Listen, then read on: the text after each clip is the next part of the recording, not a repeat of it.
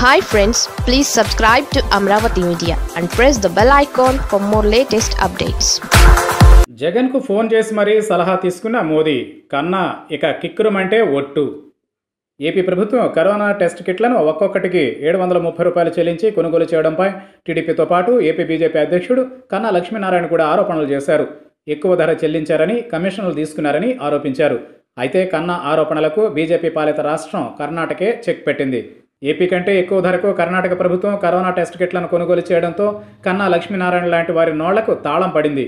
AP ప్రభుత్వం ఒక్కో కిట్కు ఏడు వందల ముప్పై రూపాయలు చెల్లించగా కర్ణాటక ప్రభుత్వం ఏకంగా ఏడు వందల తొంభై ఐదు రూపాయలు చెల్లించి హర్యానాలోని ఒక కంపెనీతో ఒప్పందం చేసుకుంది. అటు ఏపీ ప్రభుత్వం తీసుకుంటున్న చర్యలపై ప్రధాని మోదీ నేరుగా ఏపీ సీఎం జగన్మోహన్ రెడ్డికి ఫోన్ చేసి ఆరా తీశారు. ఏపీ ప్రభుత్వం దిగుమతి చేసుకున్న టెస్ట్ కిట్ల పనితీరుపై మోదీ ఆరా తీశారు. చైనా నుంచి దిగుమతి చేసుకుంటున్న కిట్లు సకాలంలో అందకపోవడంతో పాటు వాటి పనితీరులో అనేక లోపాలు ఉన్నట్లు ఫిర్యాదులు వస్తుండటంతో కేంద్రం దక్షిణ కొరియాపై దృష్టి సారించింది. కొరియా నుంచి దిగుమతి చేసుకున్న కిట్ల పనితీరు బాగుందని పది నిమిషాల్లోనే ఫలితాన్ని గుర్తించగలుగుతున్నామని ప్రధానికి జగన్మోహన్ రెడ్డి వివరించినట్లు వైఎస్ఆర్ కాంగ్రెస్ పార్టీ ఒక ప్రకటనలో వివరించింది.